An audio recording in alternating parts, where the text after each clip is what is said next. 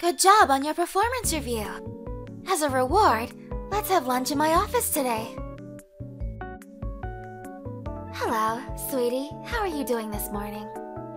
So, I'm gonna need you to beat out competitors in sales this month. Succeed, and I'll give you a nice prize where you can use both of your hands. Fail, and you're fired.